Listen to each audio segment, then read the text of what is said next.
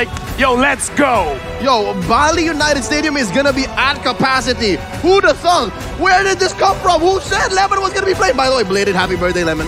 With happy birthday, Lemon, and what a moment to just make his appearance. He Look at him smiling. playing for a long time. And signature, man. He- Lemon with his Happy smile. Happy birthday To you, happy birthday to you. Even he himself can't Happy believe he's birthday, birthday to Lemon. Happy birthday to you. Oh wow. To reset and show here the King of Kings something else. Here's the thing, man. Fury did an amazing job. Most damage dealt 100%. Team fight, participation. They are strong. I kind of feel like it's just small mistakes, perhaps even nervousness, which is going to be difficult to overcome going up against RRQ Hoshi, but it can be done. Give the necessary resources to Fury, and I kind of feel like there is a chance. They have to pre-plan their movements as well because if they don't calculate